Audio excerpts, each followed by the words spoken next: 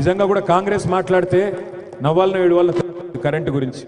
ఏముండే కాంగ్రెస్ టైంలో? పదేళ్ళ ముంగట కరెంటు కాలిపోయే మోటార్లు పేలిపోయే ట్రాన్స్ఫారంలు ఎత్తిన ఎత్తిపోయిన బోర్లు ఎండిపోయిన చెరువులు ఊర్లల్లో ఎప్పటికప్పుడు బాయికాడికి అర్ధరాత్రి దొంగలు వచ్చే కరెంటు కోసం అర్ధరాత్రి బాయికాడ కాపలా కాసే రోజులు. వాస్తవాలు కాదా ఇది? ఇలా కాంగ్రెస్ వాడు మాట్లాడతాడు రేవంత్ రెడ్డి కోమటిరెడ్డి వెంకటరెడ్డి మాట్లాడతాడు. యాడుంది కరెంటు కనబడతనే లేదు. కరెంట్ ఏడుంది చూపెడతావా? దమ్ముంటే నేను తప్పుకుంటా అని మాట్లాడుతుండు. నాకు తెలియక అడుగుతా నాకు తెలియక అడుగుతా కరెంట్ కనబడుతుంది అన్ననా. ఏమైనా బుద్ధున్నదా వానికి? మెదడు మోకాలు పోయింది. నేను ఒకటే చెప్తున్నా వెంకటరెడ్డి వెంకటరెడ్డి రేవంత్ రెడ్డి ఓ పని చేయండి ఇద్దరు. నేను మా సునీతక్కకు చెప్తా సునీతక్కకు చెప్తా మన గౌడ్ సాబ్కి చెప్తా ఓ మంచి బస్సు పెడతాం. బస్సులు ఎక్కి బిర్యానీ కూడా పెడతాం. ఆలేరు నియోజకవర్గంలో ఏ మండలం పోతో పో ఏ ఊరికి పోతావో పో పోయి గట్టిగా కరెంట్ వైర్లు బిగబట్టుకో. వస్తుందా లేదా తెలిసిపోతుంది కరెంట్. రాష్ట్రానికి పట్టిన దరిద్రం కూడా విక్తుంది ఆయన సిగ్గు ఇజ్జత్ మానం ఏమన్నా ఉందా? కాంగ్రెస్ ఓనికి కరెంట్ గురించి మాట్లాడుతందుకు ఏం మాట్లాడుతున్నారు? ఇలా ఒకరిద్దరు కాదు సిగ్గులేని మాటలు. ఒక దిక్కేమో రేవంత్ రెడ్డి మూడు గంటల కరెంటు చాలు. తెలంగాణలో ఉన్నదంతా బీదా బిక్కి రైతులే. వీళ్ళ ముఖాలకు ఇరవై నాలుగు గంటల కరెంట్ ఎందుకు? మూడు గంటలు ఇస్తే అయిపోయి? పది హెచ్పి మోటార్ గుంజుడు గుంజితే పారతాయి మూడు ఎకరాలు అన్నాడు. ఇక్కడ దస్ హెచ్పి మోటార్ ఉన్న వాళ్ళందరూ శైలా పట్టరు జర ఒకసారి. దస్ హెచ్పి మోటార్ ఉన్నాయా? ఉన్నాయా? నెంబర్ వన్ తెలివి గట్లుంది గసుండి కానీ కొట్లేద్దామా ఎద్దు తెలియదు వ్యవసాయం తెలియదు క్లబ్లు పబ్బులు తప్ప ఏం తెలియదు గసండి పిచ్చోళ్ళు కోట్లేస్తే మళ్ళా వ్యవసాయం ఆగం కాదా? మళ్ళా పాత రోజులు కావన్నా? నేను ఇక్కడికి వచ్చిన మా ఆలేరు రైతన్నలందరినీ ఒకటే కొడతా ఉన్నా ఒకటే ప్రశ్నకు. ఇంటికి పోయినాక సమాధానం చెప్పండి అందరితో చర్చ పెట్టండి. ఒక్కటే ప్రశ్న. కరెంటు కావన్నా? కాంగ్రెస్ కావన్నా? ఆలోచించండి. కరెంటు కావాలా? కాంగ్రెస్ కావాలా? ఆలోచించండి. దయచేసి మళ్ళా పాత రోజులు కావాలి అంటే ఎరువుల కోసం విత్తనాల కోసం లైన్ల ముంగట నిలబడ్డ రోజులు దెబ్బలు తిన్న రోజులు ఆ రోజులు మళ్ళా కావాలంటే మూడు గంటల కరెంటుగా వచ్చే రోజులు కావాలంటే మరి మళ్ళొక్కసారి ఆ దిక్కుమాల దిక్కు చూడు. లేకపోతే ఇరవై నాలుగు గంటల కరెంట్ ఇట్లే ఉండాలంటే కేసీఆర్ గారు ఉంటేనే ఉంటుంది తప్ప ఆల్తు ఫాల్తు గాళ్ళు వస్తే వాళ్ళతో కాదు. నేను చెప్పే మాట ఎందుకంటే నిజంగానే కరెంటు సమస్య పరిష్కరించుడు అంత ఆసాన్ ముచ్చటైతే మరి అరవై ఐదేళ్ళు కాంగ్రెస్ వాళ్ళతో ఎందుకు కాలే? ఎందుకు చేయలే వాళ్ళు?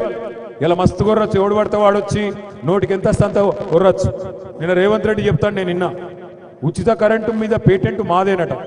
అసలు వాడు ఉన్నప్పుడు కరెంటు ఉచిత కరెంటా మను కరెంటా? చెప్పింది ఆరు గంటలు ఇచ్చింది మూడు గంటలు. అది ఉచిత కరెంట్ కాదు ఉత్త కరెంటే.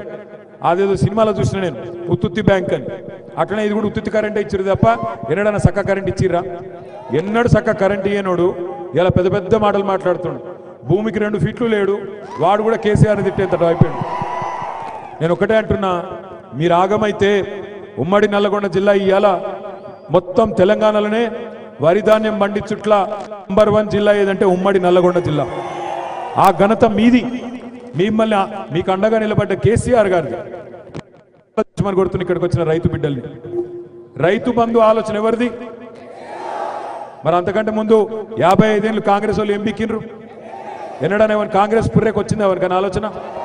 ఇలా బగ్గ మాట్లాడుతున్న ఒక్కొక్కడు నోటికి వచ్చినట్టు వరుతుండు నేను అడుగుతున్నా మరి యాభై ఐదేళ్ళు పదకొండు సార్లు గెలిపిస్తే అప్పుడేం బీకినరు ఆనాడేమైనా చేయగలిగినరా? సాగునీరు ఇయ్యలే సాగునీరు ఇయ్యలే కరెంట్ ఇయ్యలే రైతు బంధు ఇయ్యలే కళ్యాణ లక్ష్మి ఇయ్యలే కేసీఆర్ కిట్ ఇయ్యలే ఆరోగ్య లక్ష్మి ఇయ్యలే యాదగిరిగుట్ట టెంపుల్ మంచిగా చేయలే. మరి ఎందుకేయాలి నీ ఓటు పీకనికా? ఇలా సిగ్గు లేకుండా మాట్లాడతారు. సిగ్గు ఇజ్జత్ మానం ఉన్నదా వాళ్ళకు? ఒక్క ఛాన్స్. లేదు అది కూడా పక్కన. ఒక్క ఛాన్స్ ఇవ్వనట్టు ఒక్క ఛాన్స్. ఎందుకు ఇవ్వాలి ఒక్క ఛాన్సు? మళ్ళా నాశనం అవుతుంది కా నేను ఒక్కటే చెప్తున్నా దయచేసి యాద పెట్టుకోండి. దరిద్రానికి నేస్తాం హస్తం. మళ్ళా దరిద్రం దరిద్రం తెచ్చి మీద పెట్టుకుంటామంటే మళ్ళా మన కొంపలే కొల్లేరులు అవుతాయి మన కొంపలు కొల్లేరు కావాలంటే ఆ దరిద్రం తెచ్చి మళ్ళీ రాసుకోవాలి. రాంగ పొంగ తలిగే ముళ్ళ కంపస్ ఉంటుంది కాంగ్రెస్. ఇవాళ తెలంగాణ బంగారు తెలంగాణ కాలే. ఇవాళ తెలంగాణ బొందలగడ్డ తెలంగాణ అయింది. ఇవాళ తెలంగాణ బెల్ట్ షాపుల తెలంగాణ అయింది. తెలంగాణ దేశంలోనే నెంబర్ వన్ కేసీఆర్ చెప్తున్నాడు. దేంట్లో నెంబర్ వన్ అయ్యా? రైతుల ఆత్మహత్యల్లో నెంబర్ వన్ నిరుద్యోగ సమస్యలో నెంబర్ వన్. పద్దెనిమిది వందల బార్ షాపులు మూడు వేల వైన్ షాపులు అరవై రెండు వేల బెల్ట్ షాపులు ఇచ్చి దేశంలోనే నెంబర్ వన్ తాగుబోతల అడ్డాగా తెలంగాణను మార్చిన చరిత్ర కల్వకుంట్ల చంద్రశేఖరరావుది. అందుకే మిత్రులారా మిత్రద్రోహి అయిన కల్వకుంట్ల చంద్రశేఖరరావును నర్సాపూర్ అభివృద్ధికి అడ్డంకిగా మారి కాంగ్రెస్ పార్టీ కార్యకర్తలు నమ్మించి మోసం చేసిన సునీత లక్ష్మారెడ్డి గారిని చిత్తు చిత్తుగా ఓడించి కాంగ్రెస్ పార్టీ జెండా. పోయినసారి రెండు వేల పద్దెనిమిదిలో నేనే గెలిపించడానికి ఎన్నికల ప్రచారానికి వచ్చిన. ఈ ప్రచారానికి వచ్చినందుకు సునీతమ్మకు మద్దతు ఇచ్చినందుకు ఈ రాష్ట్ర ప్రభుత్వం ఈ నర్సాపూర్లో నా మీద రెండు కేసులు పెట్టింది. ఇప్పటికీ కోర్టు చుట్టూ నేను కేసులు తిరుగుతున్నా. నీ కోసం ప్రచారం చేయడానికి నేను వస్తే నా మీద కేసులు పెట్టిండ్రు.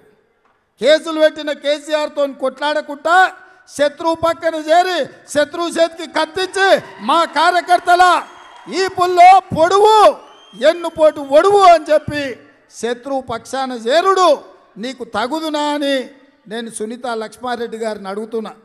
ఇవాళటి కూడా కేసులు అట్లనే ఉన్నాయి. ఆమెకు ఆల్రెడీ ఒక మా ఒక పదవి వచ్చింది. ఇప్పుడు మళ్ళీ ఎమ్మెల్యే టికెట్ వచ్చింది.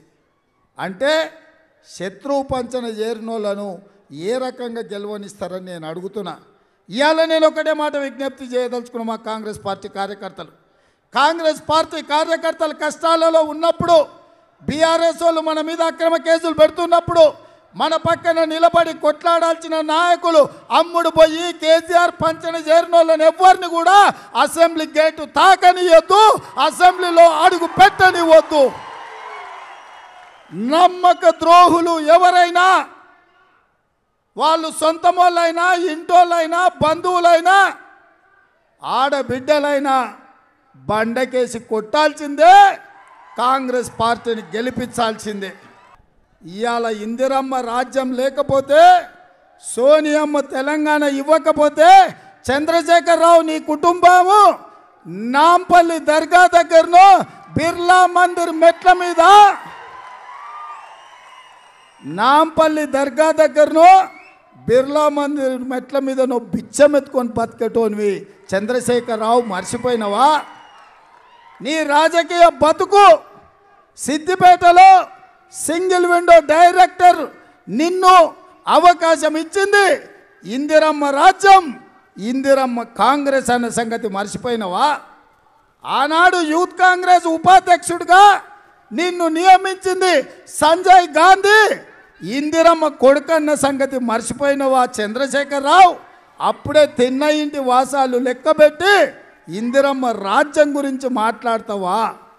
ఇంత దుర్మార్గుడు ఇంత నమ్మక ద్రోహి ఇంత తెలంగాణను నట్టేంట బుచ్చినోడు ఈ భూమి మీదనే లేడు. అందుకే చంద్రశేఖర్ రావును వంద మీటర్ల గోతి తీసి బొంద పెట్టాల్సిందిగా నర్సాపూర్ బిడ్డల్ని నేను ఇవాళ విజ్ఞప్తి చేస్తున్న మిత్రులారా ఇవాళ చంద్రశేఖరరావు చెప్పడానికి ఏమీ లేదు చేయడానికి ఏమీ లేదు. అందుకే ఈ పదేళ్ళు ఏం చేసిండో చెప్పకుండా కాంగ్రెస్ పార్టీని తిట్టుకుంటే తిరుగుతున్నాడు. ఇవాళ తెలంగాణ ఇచ్చిందే కాంగ్రెస్ చంద్రశేఖరరావు. ఇవాళ నువ్వు ఈ తెలంగాణ ప్రాంత ప్రజల్ని మోసం చేసి ముఖం చెల్లక ఏం మాట్లాడాలో తెలియక కాంగ్రెస్ పార్టీని తిడుతున్నావు. కాంగ్రెస్ పార్టీని తిడితే పాపం తగిలి ఉసురు తగిలి కాంగ్రెస్ పార్టీ కార్యకర్తలు కొట్టుకొని పోతావు. ఆ పాపంలా అని చెప్పి నేను చంద్రశేఖరరావుకి చెప్పదలుచుకున్నా. ఇవాళ చంద్రశేఖరరావు నమూనా అంటే లక్ష యాభై వేల కోట్లతోటి కాళేశ్వరం కట్టినా అన్నాడు. మూడేళ్ళు అయింది కాళేశ్వరం మేడిగడ్డ కట్టి మొన్న చూస్తే మూడు మీటర్లు భూమిలోకి గుంగిపోయింది. ఇవాళ అన్నారం బ్యారేజ్ పగిలిపోయింది.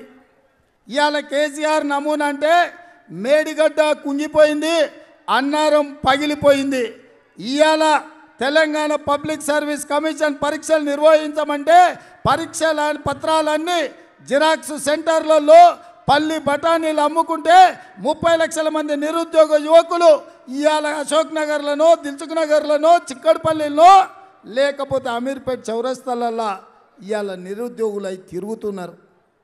ఇవాళ రైతుల ఆత్మహత్యలు ఎక్కడ చూసినా అన్నమో రామచంద్ర అనుకునే పరిస్థితి రైతులకు వచ్చింది పండించిన పంట కొనే దిక్కులేక కల్లాలలో వరి కుప్పల మీద పండుకున్న వాళ్ళు అర్ధరాత్రి పూట గుండెలాగి చచ్చిపోతుంటే ఈ రైతులను ఆదుకోవడానికి ఏ ఒక్కరోజు చంద్రశేఖరరావు ముందుకు రాలే పండించిన పంటకు గిట్టుబాటు ధర ఇవ్వలే.